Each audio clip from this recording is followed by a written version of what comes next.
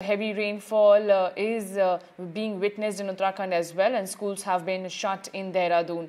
Now, unfortunately, two people have been killed in Tehri after a cloud burst. Rivers are in full spate at multiple locations. You can see the visuals on your screens uh, how the rainfall is adding to the woes of the locals. You can see how locals are forced to cross the, the area, the roads that are waterlogged with the help of trees that have been uprooted due to the heavy storm and rain in the region. There is a uh, an advisory issued that people should not uh, wade out into flooded water. So you can see how bad the situation is in Uttarakhand. Two people have been killed in a cloudburst incident that happened in Tehri in Uttarakhand. Now all schools and Anganwadi centers are also shut in Dehradun. In Jageshwar, uh, you can see the visuals on your screens how rivers are in full spate uh, after heavy rainfall.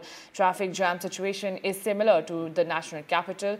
The situation is also grim as Uttarakhand is one of the uh, states where uh, tourists are also in high number as well as along with the locals. You can see how people are crossing and are trying to cross the area using the means that they can find. Uh, several cars, bikes are also stuck in the rainwater.